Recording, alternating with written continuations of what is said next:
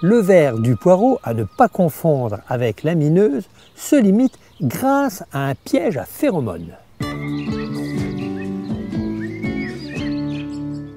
La teigne du poireau est un petit papillon qui pond sur les feuilles. Il est attiré par l'odeur du poireau. Alors pour éviter les attaques de la teigne du poireau, il existe déjà un premier moyen de lutte, c'est de l'associer avec les carottes qui vont camoufler son odeur.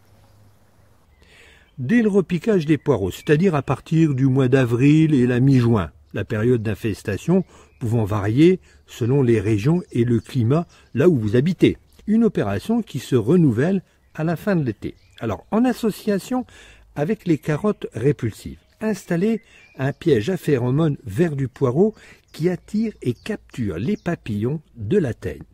Ce kit comprend un abri en carton, une sorte de maisonnette engluée à l'intérieur, une capsule de phéromones artificielles de teigne femelle.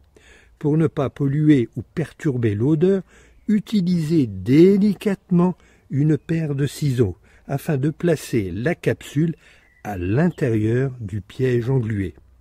Une fois que tout est prêt, accrochez le piège à phéromones dans le potager à 30 cm au-dessus des poireaux nouvellement repiqués. Ce piège est actif pendant trois mois, c'est-à-dire qu'il attire les insectes de la teigne mâle à l'intérieur du piège englué, et le papillon ne pouvant féconder la femelle, l'infestation diminue tout naturellement.